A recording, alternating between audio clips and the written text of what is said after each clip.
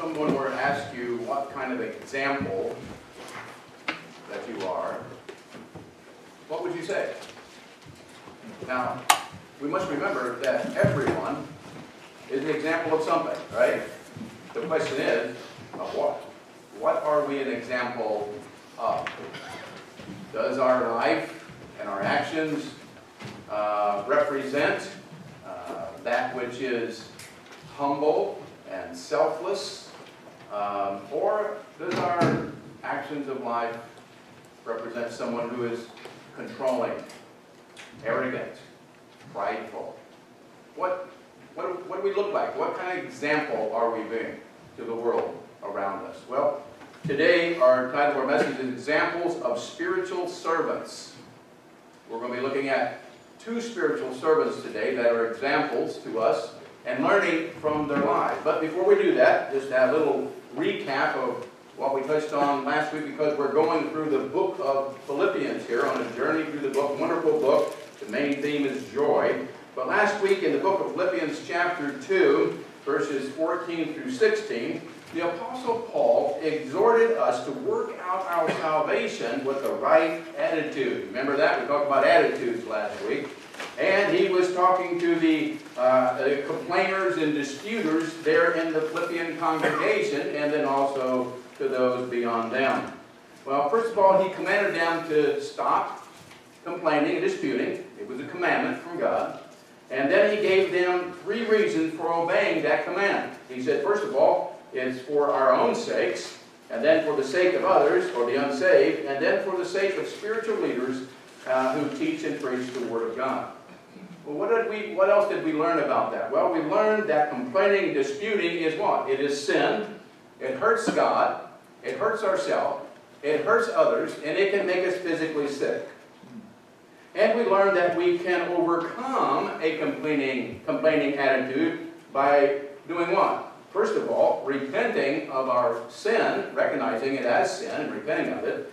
And then uh, we need to what? Replace it with a attitude of gratitude and praise to God. And that's what God wants us to do. Now, today, as we continue in the book of Philippians here, uh, chapter 2, verses 17 through 30, the apostle presents three men whose lives are exceptional patterns for spiritual servants or godly living. These three, Paul, Timothy, and Epaphroditus, were together in Rome at this time. Paul was a prisoner in his own rented quarters at this time when he wrote this letter. Though chained to a soldier, he was free to carry on his work unhindered. Timothy, he was the apostle's son of the faith and had been with him for some time. Epaphroditus had been sent from the Philippian church to bring financial support for Paul and to minister to his needs. Each of these men were passionately devoted to the Lord Jesus Christ, not consumed with their own interests. For the Lord's sake, each had risked his health, his freedom, and even his life to help others and to please the Lord.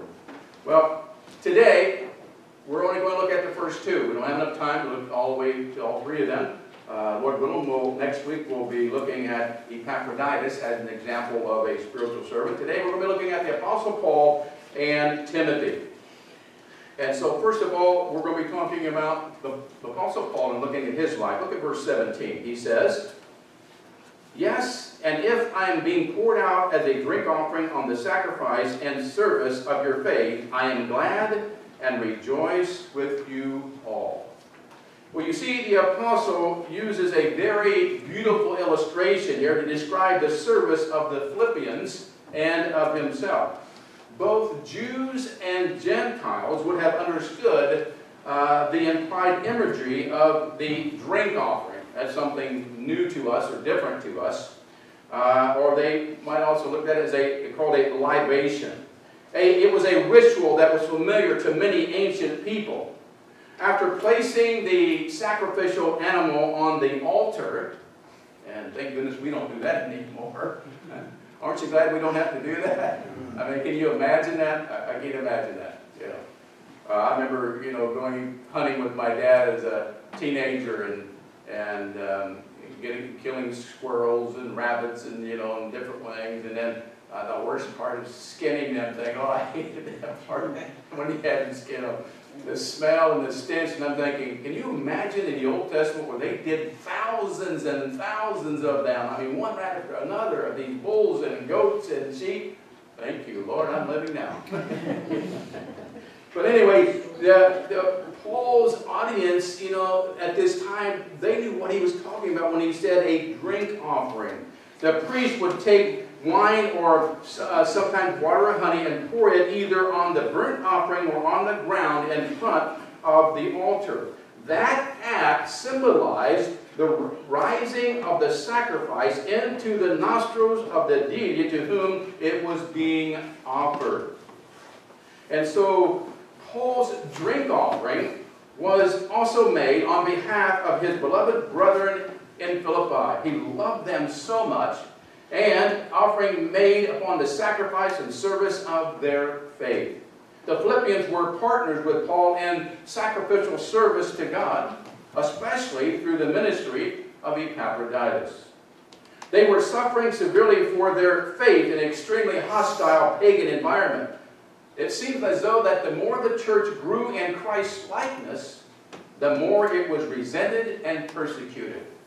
Kind of sounds like today, doesn't it?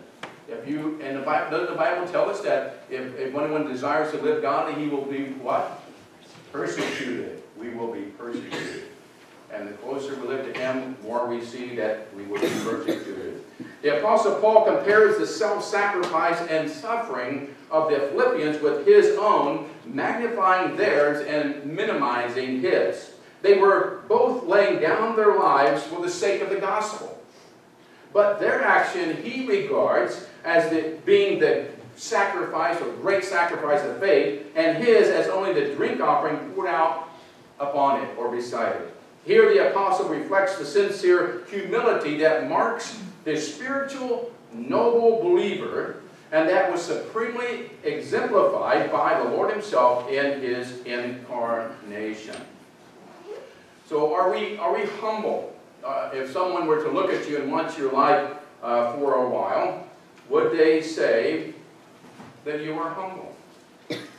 Well, you know, that's a hard one? Because if you're a humble person, you're selfless. You don't think of yourself. You're always looking out for the welfare. You're always doing things to bless and help others. And that's the way Paul was. He, he never thought about himself. He was always thinking about what he could do to glorify God and help other people, and especially share the gospel with others so they can be saved. Therefore, he writes, I am glad and rejoice with you all. The apostle has already mentioned several reasons for his joy. He rejoiced because of his love for them and their love for him. He was very close to this congregation. Uh, and simply remembering his uh, beloved congregation at Philippi brought him great joy. Paul also rejoiced knowing that the gospel was being spread through his imprisonment. Yeah, he was imprisoned, but yet God used that for the furtherance of the gospel. Isn't that amazing?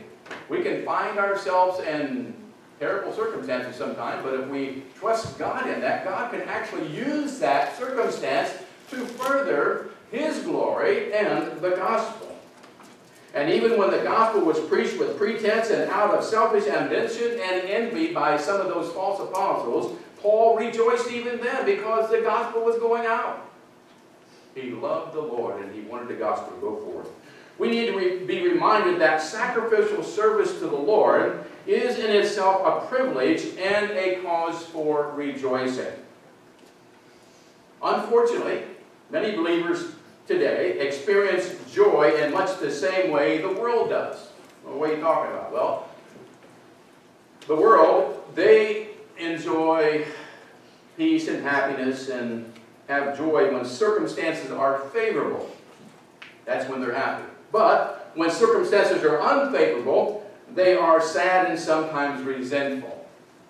The only thing that brings them joy are those that promote their own interests and welfare. But when spiritually mature believers seek to do the Father's will and please Him, they view sacrifice for Him with joy.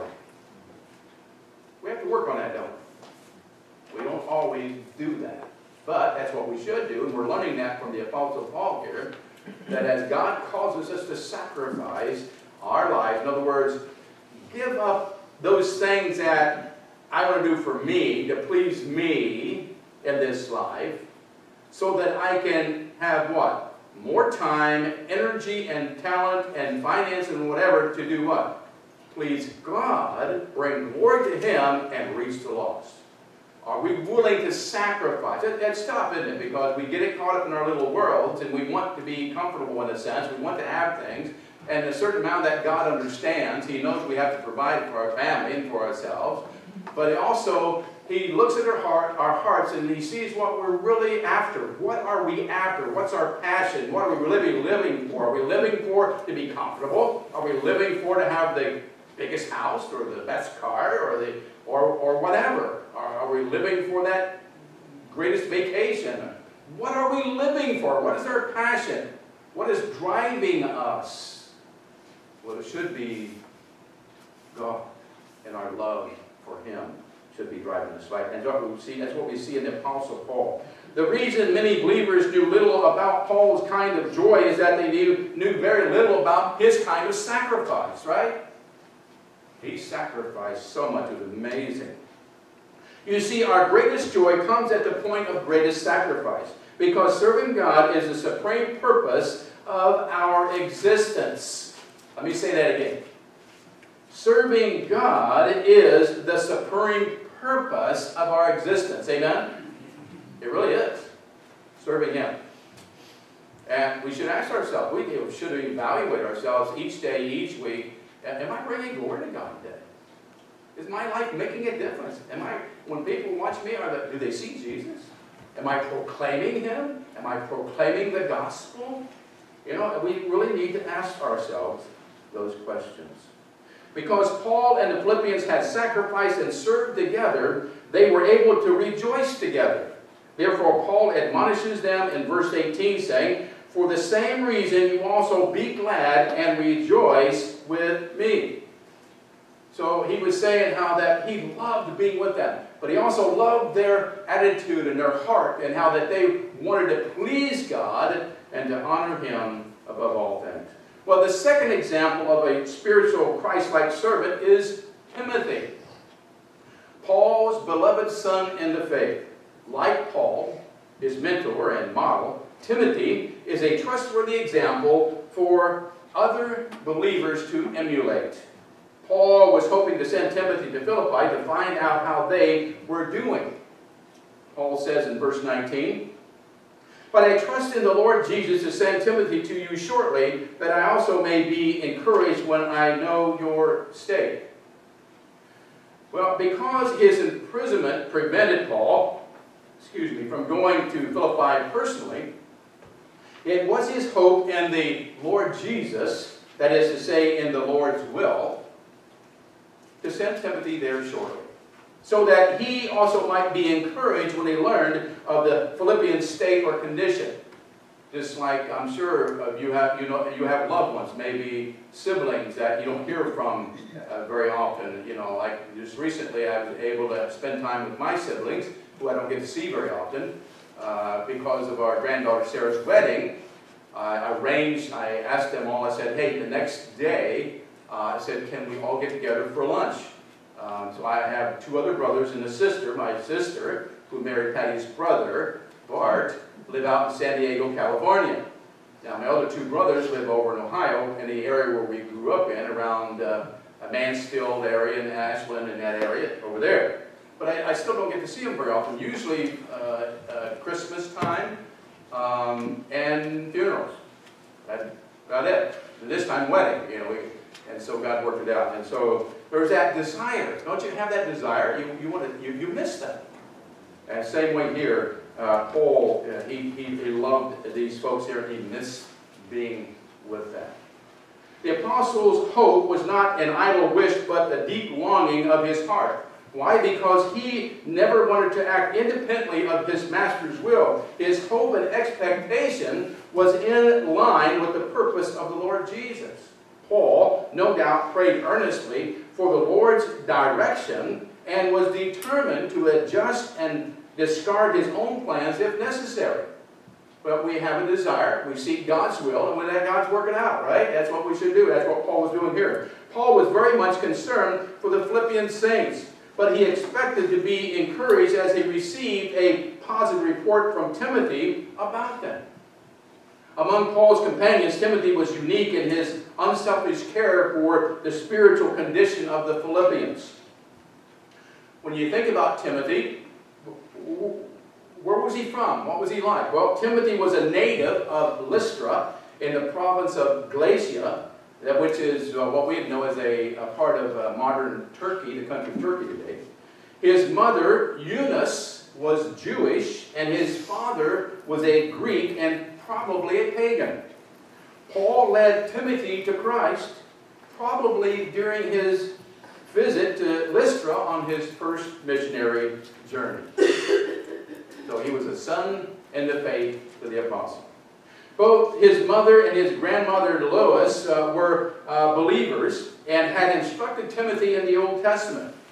Uh, that he was not circumcised as a child suggests that his father had educated him in Greek learning and culture. Along with his spiritual maturity, his combined Jewish and Greek heritage made him uniquely qualified to minister the gospel with Paul to the Gentile world. By the time Paul wrote this letter of Philippians, Timothy had been his almost constant companion for about 10 years already. And so they were drawing really close to one another, really getting to know each other, and Timothy uh, was like Paul's right-hand man. Timothy was faithful and dependable in every way and clearly was qualified to be a model to the Philippians to emulate there were well, they were well acquainted with him, since he doubtless was with Paul when the church was founded, uh, according to Acts 16.3. It is therefore hardly surprised that the apostle was eager uh, to send Timothy to them as quick as he could. Because he knew they were close, they knew each other, and he could find out how the congregation was doing. Well, because Paul wanted the Philippians to act to accept Timothy without hesitation, he gave them a brief profile of, the, of that dedicated servant of Jesus Christ in verses 20 to 23. The apostle highlighted six personal characteristics for the Philippians to emulate. He said Timothy was, first of all, like-minded, then he was sympathetic, next, Christ-minded, then seasoned, submissive, and last, available. Well, let's look at how he was like-minded to start with. Verse 20. Paul says, For I have no one like-minded who will sincerely care for your state. Well, first, Paul shares that Timothy is like-minded. What's that mean? Well, he says that in the first part of verse 20, For I have no one like-minded. Timothy's spiritual character was similar to that of the apostles. In many ways, Timothy was a sure or true kindred spirit with Paul. Right off the bat, the apostle makes the point that he had no one else of Timothy's stature. He had been instructed in the scriptures from childhood by his mother and grandmother, and was highly regarded by those who knew him. Yet Timothy's greatest spiritual growth began when he did what? When he began to travel and minister with the Apostle Paul. That's when he really began to grow in his walk with the Lord. Timothy had the unique and inviolable privilege of being the apostle's protege. Wouldn't that be amazing? Can you imagine that? To being right beside the apostle Paul? Only thing is, I, I would want to suffer like he did. oh my goodness. Also, Paul suffered. I mean, God used him greater than anyone I can think of uh, in so many ways. I mean, he wrote, what, 13 books in the New Testament and all that he went through. Oh my goodness. Well, you know, when you look at through the Bible, those who God used to bring glory to him the most seemed to go through a lot, didn't they? They had to go through a lot. But God used them in amazing ways. That Greek word for like-minded is used only here in the New Testament and is a compound word that means equal souled or one souled. referring to people who are activated by the same motives or of like character. They have a kindred spirit. Timothy's spiritual character was similar to that of the Apostle Paul. Second, Timothy also had the virtue of being sympathetic. With the utmost confidence, Paul could assure the, Tim uh, the Philippians that Timothy, he says, will sincerely care for their state. The words care for expresses a strong feeling for something or someone, often to the point of being burdened or anxious. Timothy had that heart that he cared for people. And it showed in his actions toward them. Paul uses the word here in a positive sense to describe Timothy's great concern for the welfare of the Philippian church. And so do you, do you, do you sense that, that deep down burden to help other people, to encourage them, to come alongside them, to help them, and most of all, to help them find Jesus? You know, what, what God wants us to do a lot of times, He wants us to come along people that we don't know and befriend them so that they will feel comfortable with us, trust us, and then we can do what? Share Him with them. So we should be thinking about, as Christians, we, be think, we should be thinking about all the time, Lord, bring someone across my path. Maybe it's a coworker, maybe it's my neighbor, maybe uh, uh it's a relative, maybe it's someone down the street. Uh, Lord, bring them across my path. Bring us together. Allow us to spend time together to where that we can get to know one another. And Lord, give me the words, make an opportunity that I can share Jesus with them. Do we do that? Do we even think about that? See, that's a life that's sacrificing, that giving to God. So, Lord, help us because I know how all of us are, because I'm that way too, that we, we get caught in, in our daily lives, and I like structure. How about you? I, just like, I like structure. I'm going to do this now, and this, and that. I like, I like to know I accomplished this, and accomplished that, and accomplished that. That's just who I am, you know. I do the same thing all the time, and I'm happy doing it. And Patty, just, she just, ah, you know. She looks at me, she likes different things at different times. I just love structure. And, uh, and so, you know, are we willing, are we willing to sacrifice? Are we willing to look beyond our little worlds and reach out to people around us? Look at, look at, look at your, take time look at your life sometime and see what you're consumed with. Sometimes I'm consumed very much with me. What's going to make me feel good? What's going to make me happy? You know, God wants us to be consumed with Him most of all, amen? And then consumed with how can I reach other people? Now we're all we're all in different fields, we're all in different areas. We got to use this in different ways, right? We all have our different opportunities. But we should be thinking about that. Being like Timothy here. He was like-minded. He was sympathetic. And now we see here in the third virtue that he was, he was Christ-mindedness. And, and, and so look what it says in verse 21. Paul says, For all seek their own, not the things which are of, Je of Christ Jesus. So Paul laments the self-centered, loveless attitude of those leaders, although the gospel was being proclaimed by a number of men, excuse me, in Rome, it was sometimes preached out of envy and strife and selfish ambition rather than from pure motives. It's like you got the televangelists now that a lot of them, all they care about is the money, you know. They just want to grow their, their kingdom, you know. Well, you know, if they preach the gospel, which I hope they do, some of them don't, but uh, I praise God. I praise God when they mention the name of Jesus, right? And how to be truly saved. to do that, I praise God. That's what Paul was doing. Even though he didn't agree with a lot of their other ways and things they were doing, he was praising God. They were preaching about Jesus. Paul nevertheless rejoiced that in every way, whether in pretense or in truth, Christ was being proclaimed. Do we care about that? Do we even think about the idea that Christ is being proclaimed? When you go to Walmart, when you go to this store, do you think about those people beside you? Do you think about their soul? Do you think about whether they're saved or they're lost or they're headed to a devil's hell? We should. We should really think about more so than what we're going to the store for. I know that's important, sometimes I have to write it down or I forget. yeah, I forget what I'm going for, know, absent-minded. Um, but we're, we're children of the King. We're ambassadors for Christ. We're different. We're supposed to be unique. And we should be on a mission for our King. Amen? We should be. But I know it, it's, God understands, you know, how we are so earthly minded. We get so connected to things that are earthly when He wants us to be eternal, spiritually minded. So what do we do? In order to do that, we really have to seek Him more. Seek Him more in reading the His Word and seek Him more in the intimate prayer. And as we do that, He'll help us to remind us to reach out to those around us and be like the Apostle Paul and as Timothy here.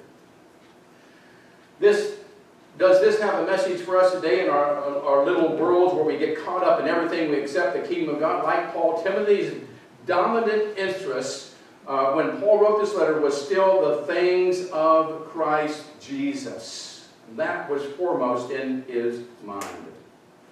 Fourth, a fourth characteristic of Timothy is that he was seasoned. What does that mean? Well, look what Paul says in verse 22. But you know his proven character.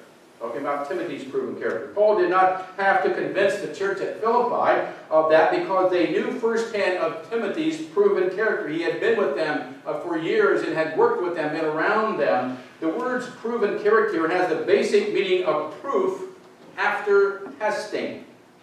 Used of a person, it described proven character or tested value. Paul used the verb form numerous times in his admonitions for believers to prove what the will of God is, that which is good and acceptable and perfect, uh, according to Romans 12:2, and to examine themselves, like 1 Corinthians 11:28. Timothy had been tested many times in his service to the Lord. The church at Philippi was well acquainted with Timothy and had benefited from his faithful service for many many years. Have you been tested? Have you been through some trials? How'd you come out on those trials? See, we, don't want to be like a dog chasing his tail. You ever see that? And they're getting nowhere. Lions are going to get nowhere. You know, we don't want to be like that. Uh, have I done that? Yes, I've done that. Yeah, there's times that God put me through a, a test and I failed miserably, you know, and so I do it again, you know, and so we don't want to be like that. We want to, you know, have that faith, success, spiritual success, where we we say, Yes, Lord, this is about you, not about me, or whatever you want me to do. Here I am, Lord. As Isaiah said, Isaiah said, Lord, here I am, send me. We should be that way. And so here Timothy had that proven character. And then fifth, we learned that he was submissive. Okay, let's look at that. Paul, like Paul, Timothy was submissive to the Lord first of all. In the last part of verse 22, Paul says that as a son with his father, he served me in the gospel. The word serve was used of many types of service. As the next phrase in the gospel makes clear, serve here refers to serving the Lord first of all. Timothy was completely submissive to Paul as an apostle, a spiritual father, and an incomparable model of godliness. But Paul makes it clear that this particular service was not to him, but with him in the gospel. They served the Lord together in a loving and non-competitive partnership in the gospel of Jesus Christ. Paul was clearly the senior and Timothy the respected junior. Yet the two men were both bond servants of Jesus Christ, willing to uh, put themselves out there, sacrifice themselves, and share the good news of Jesus Christ. Last, we have the uh, virtue of, uh, for Timothy of being available. He was available. Paul says in verse 33, he said, Therefore I hope to send him at once as soon as I see how it goes with me. Because Timothy had thus proved himself, Paul hoped to send him to the Philippians as soon as he learned the outcome of his appeal to Caesar. The context makes it clear that Timothy was willing to do whatever Paul asked him to do. He had no agenda of his own. For him, being available to the Lord and essentially meant being a servable or available uh, to the Apostle Paul. Lord, here I am. Whatever you want me, I'll, I'm willing to do that. That's the way we should be. Whatever it is, Lord, here it is. Here I am. Send me.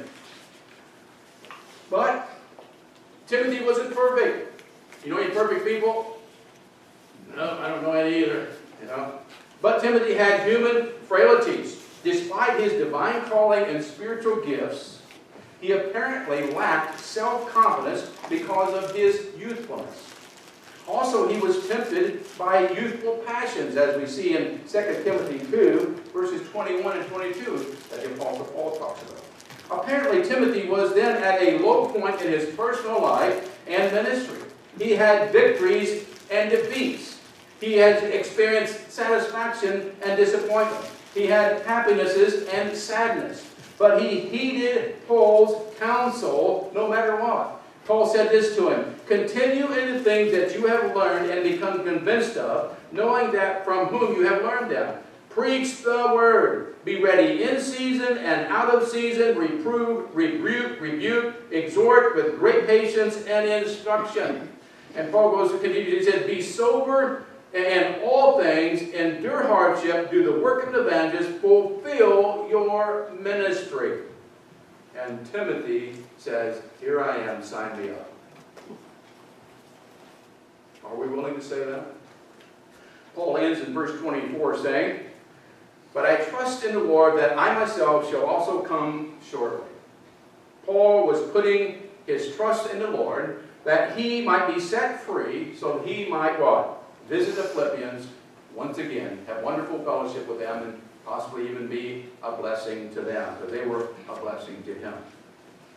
Paul and Timothy were two different individuals. Paul was the bold, fearless leader. Timothy, he was quiet, a devoted assistant. Yet they manifested the most important characteristic of all. They had a Christ-like servant attitude, a life worth imitating. The apostle highlighted six personal characteristics of Timothy for us to look at and to think about if we line up like this. He was like-minded. He was sympathetic. He was Christ-minded. He was seasoned. He was submissive, submissive, and he was available. These are in your outline there. You can see explaining a little bit about them in that outline in your bulletins. In Luke 9, 23 and 24, Jesus said, If anyone desires to come, up to, come after me, let him deny himself, take up his cross daily, and follow me. Whoever desires to save his life will lose it. But whoever will lose his life for my sake and the gospel's will save it. How much of your life are you willing to give up for the kingdom of God? What kind of example are you to others? Are you willing to pour out your life for God and other people so they can have eternal life? Let's pray. Heavenly Father, we thank you, Lord, for your precious word. Thank you for the examples of the Apostle Paul. We just scratched, scratched the surface with him, Father, but nevertheless, Lord, we see his example here in this passage and also with Timothy uh, a beloved son in the faith for Paul. Father, I pray that you would help us, that we could, in a sense, emulate them as Paul says, as I follow Christ, follow me. And so I pray that you would help us, Lord, to do the same. Lord, help us to take a good look at our lives. Uh, are we, are our lives simply about us and what makes us happy and satisfied, or, Lord, or is it about bringing glory to you and helping others? Lord, just wake us up spiritually, get our attention, challenge us, change us, Lord, to be more like your Son. Bring people across our path, Lord, even today, that we might share the good news of Jesus with. We thank you, Father, pra praise you. In Jesus' precious name. Amen. All right, let's uh, get our last song here.